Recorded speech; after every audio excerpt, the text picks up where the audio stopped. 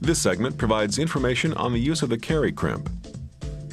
The KarryKrimp is capable of handling a variety of hoses up through the sizes you see listed on the screen.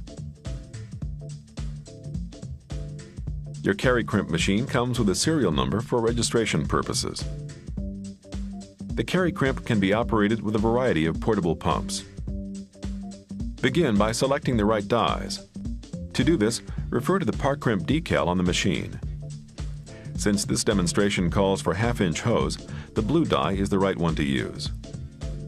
Also check the die ring information. The Parkrimp decal will note whether to use the silver or black die ring for your hose assembly. Now pull the pin on the pusher for easy access to the die bowl.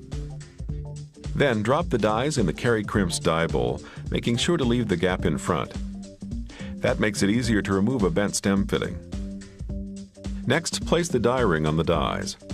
Or if you're crimping a bent stem fitting, insert the hose assembly from the bottom and then place the die ring on top of the dies.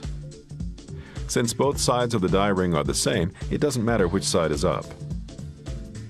Move the pusher back into position and replace the pin. Now insert the hose assembly from the bottom. Adjust it so the bottom of the fitting shell sits on the Park-Align step in the dies. Holding the hose lightly, turn the pump on and turn the valve handle, lowering the pusher. Wait until the die ring is bottomed on the base. To remove the hose assembly, reverse the valve on the pump.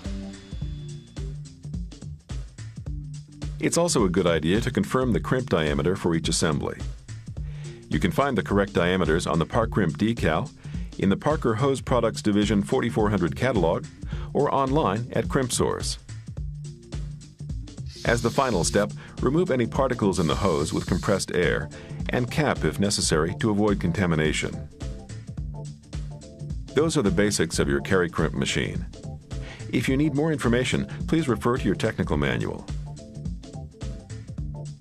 Thanks for watching and enjoy working with the Parkrimp difference.